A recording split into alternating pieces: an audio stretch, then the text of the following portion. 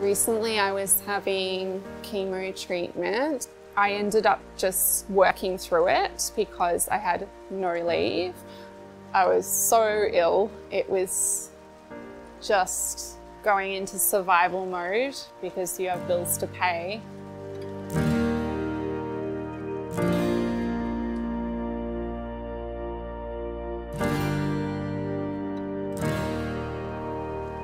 Sort of go into this mode where you just ignore the bodily signs, like your body's saying, rest, stop, you're sick.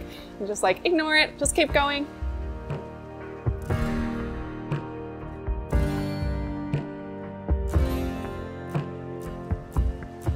Victorian Labor Government scheme for five days of paid sick leave is a really good scheme. I do think it would be great if it were extended to more industries and then beyond Victoria, Australia-wide.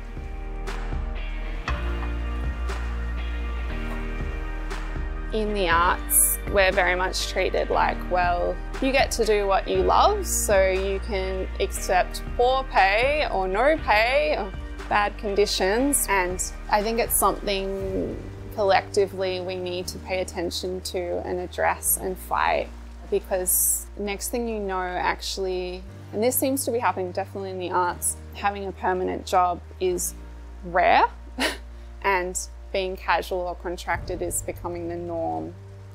What got us through the pandemic, it was frontline workers and community workers and and the arts, like engaging in the arts, listening to music, watching Netflix, like all these things got us through. So um, just valuing these professions, it's even more important now.